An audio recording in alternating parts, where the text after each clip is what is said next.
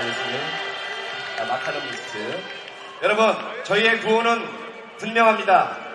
제가 검찰하고 붙이면 여러분은 개혁해 주시고 우리의 자랑스러운 이름 지켜내야 될 이름 조국하면 수호 외쳐보겠습니다. 국민의 명령입니다. 조국 수호 검찰 조국 검찰 조국 검찰 기레기 친일 잔당과 밀통 내통하고 빨대로 꽂아서 국민의 고혈을 빨아먹는 헌법과 국민 위에 군림하려고 하는 정치검찰들 떡검들 검새들 어떤 이름으로 불려도 좋습니다. 국민 여러분 손을 향해 주시고 정치검찰 아웃! 아웃! 아웃 세번 외쳐주시기 바라겠습니다. 국민의 명령이다. 정치검찰 검새와 빨대를 꽂아서 국민의 눈과 귀를 가리고 70년 동안 거짓 언론을 일삼아온 기레기 언론! 아우! 기레기 언론! 아우! 정치검찰! 아우! 아우! 기레기 언론! 진일잔당! 진일잔당! 고맙습니다. 오늘 구호 원 없이 외치겠습니다. 대한민국 민주 언론을 위해서 열심히 언론 개혁을 위해서 활동해 오셨고 지금은 시민으로 여러분들 앞에서 꼭 하실 말씀이 있는 시민 최민희님을 모시겠습니다. 여러분 큰 박수로 맞이해 주십시오.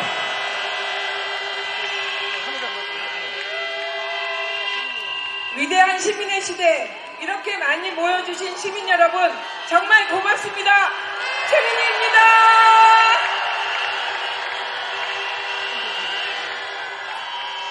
우선 언론 개혁을 얘기하기 전에 언론에선 절대로 다루지 않는 기쁜 소식을 나누도록 하겠습니다.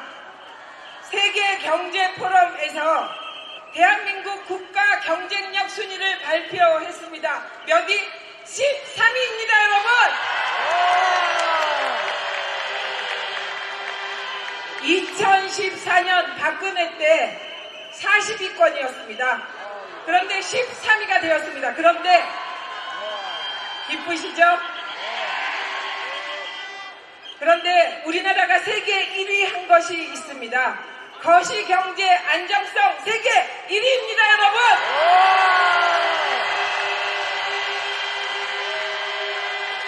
정보통신보급률 세계 1위입니다, 여러분! 이렇게 문재인 정부가 잘하는 것이 아주 많습니다. 그런데 언론이 보도하지 않기 때문에 제가 그 중에서 제일 중요하다고 생각하는 거 뽑아봤습니다. 문재인 정부 응원합니다!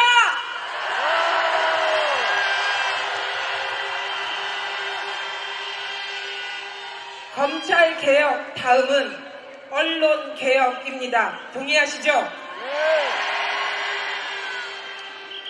지금 대한민국에는 나치 괴벨스의 바이러스가 떠돌고 있습니다. 거짓말은 처음에는 부정되고 다음엔 의심되지만 반복하면 사실이 된다. 이 독한 바이러스가 퍼지고 있습니다. 이 바이러스의 진원지는 검찰! 언론이 무차별하게 유포하고 있습니다, 여러분. 이 바이러스 퇴치해야 되겠죠? 우리는 그 바이러스를 퇴치하기 위해서 이 자리에 모였습니다. 여러분!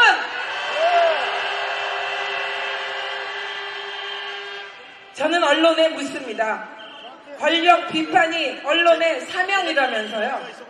그런데 왜 검찰은 비판 안 합니까?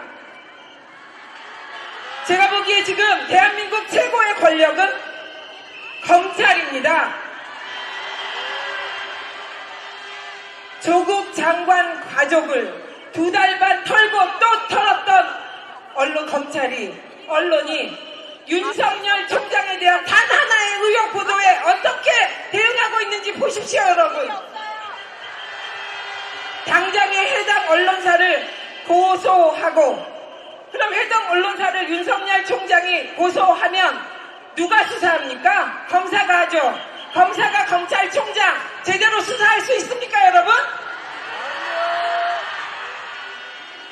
소위 메이저 언론이 나서서 윤석열 총장 쉴드 치기에 바쁩니다. 이게 정상입니까? 지금 대한민국이 정상입니까, 여러분?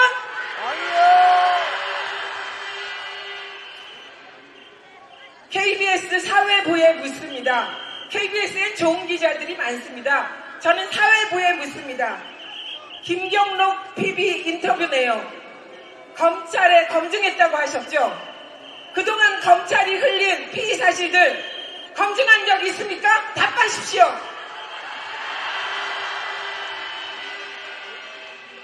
단 한 번이라도 KBS 사회부가 조국 장관에 대한 검찰의 수사가 적절한지, 공정한지, 절차에 맞는지 의심하고 물어본 적 있습니까?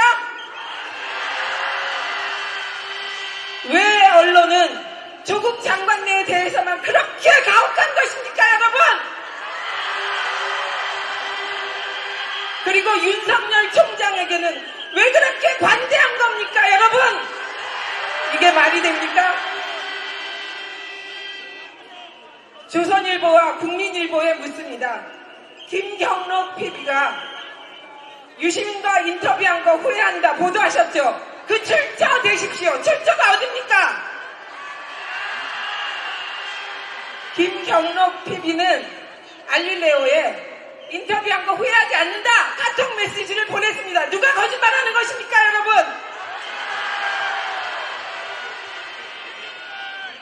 대다수 언론은 제 질문에 답해 주십시오. 지금 최성해 총장은 어디 있습니까? 최성해 총장 거짓말은 대다수 언론들이 받아쓰기, 베껴쓰기, 또 받아쓰기 해놓고 최성해 총장 말이 거짓말이라는 뉴스 공장 보도는 왜 베껴쓰기, 받아쓰기 안 하시는 겁니까? 이러고도 여러분이 이러고도 언론 사회부 기자들이 언론이라고 말할 수 있습니까, 여러분?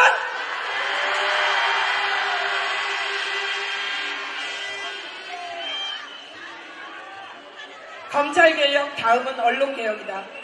검찰과 검찰 권력과 언론 권력이 손을 잡으면 무슨 일이 벌어지는지 우리는 압니다. 강기훈 유서 대필 사건 관련 검사는 국회의원 강기훈 씨는 암으로 투병 중입니다, 여러분. 한 인간의 영혼을 몸을 성들이째 망가뜨렸습니다. 지금 이 순간 우리는 평범한 한 가족이 주식 사기당이 되고 착한 아이들이 나쁜 사람, 몹쓸 사람이 되는 것을 목도하고 있습니다. 조국 내가 조국 내에게 너무한다. 이건 너무 심하지 않아? 연민과 분노가 내가 조국이 될 수도 있다. 공포로 바뀌어서 우리가 촛불을 들을 때 대한민국 기자님 어디 있었습니까 여러분은?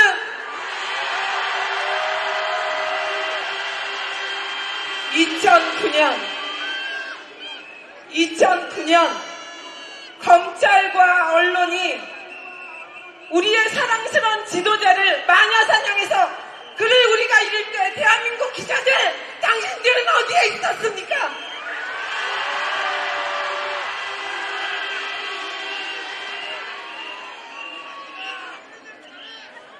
그럼에도 언론인 여러분 저는 아직 젊은 기자들을 믿습니다. 여러분이 확증 편향에서 벗어나기를 믿습니다. 그럼 우리는 어떻게 해야 할까요? 언론개혁을 위하여. 첫째, 국회는 당장 징벌적 손해배상제 도입을 하십시오! 그리고 이 자리에 모신, 모이신 1인 미디어 시민 여러분은 이제부터 두 가지를 하셔야 합니다.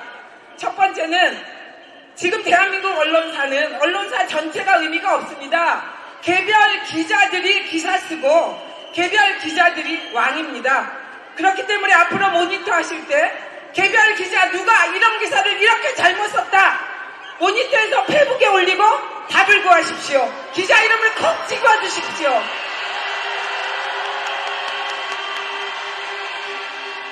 다음으로 종편 보도 보시면 화나시죠? 네, 먼저 화 내십시오. 그런데 화만 내고 말면 안 되지요.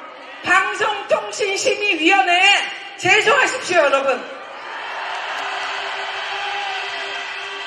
인터넷에 들어가 방송통신심의위원회 홈페이지 들어가시면 전자민원이 있습니다.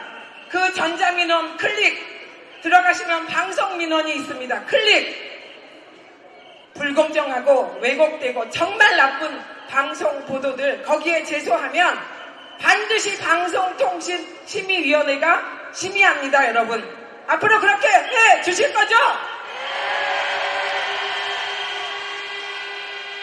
대한민국 언론인 여러분, 언론사 경영진 여러분, 김경록 PB가 진실을 알리기 위하여 차고 넘치는 언론사를 찾아가지 않고 유시민의 알릴레오를 찾아갔을 때 이미 대한민국 언론은 사형 선고를 받은 것입니다.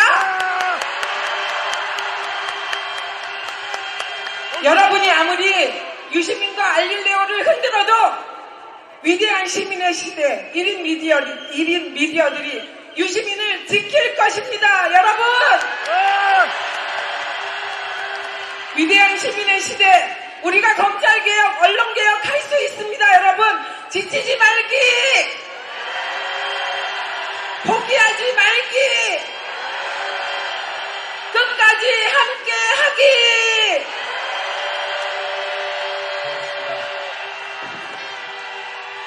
최민희 전 의원님, 정말 대한민국 언론의 현주소를 앞으로 날카롭게 꼬집었습니다. 여러분, 검세와 언론개혁을 말하는 시민 여러분들, 고수가 오셨습니다. 여러분의 그 마음이 잘 전달됐을 것 같고요.